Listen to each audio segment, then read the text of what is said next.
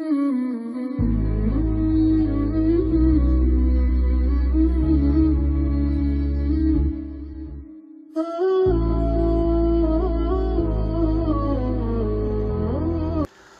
عليكم ورحمة الله وبركاته. أهلا بكم أحبتي من جديد. ما زلنا مع قناة تفسير الأحلام الحمد لله والصلاة والسلام على رسول الله صلى الله عليه وسلم ومن والاه. أيها الإخوة الكرام أين أجد الراحة؟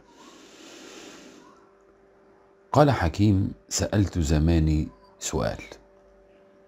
هل الراحة بالموت ودخول القبر أم باللعب وطول السهر؟ أم الحل اعتزال الناس؟ أم الحل اعتزال الناس؟ أم البكاء حتى ننفجر؟ فأجابني الزمان وقال ليست الراحة بشيء مما ذكر.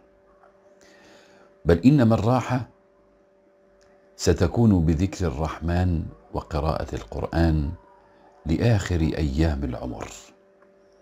فأعظم راحة تشعر فيها بلذة القرب من الله سبحانه وتعالى وهو أن تستشعر قوله تعالى ألا بذكر الله تطمئن القلوب. تظلون في اللقاءات القادمة والسلام عليكم ورحمة الله وبركاته.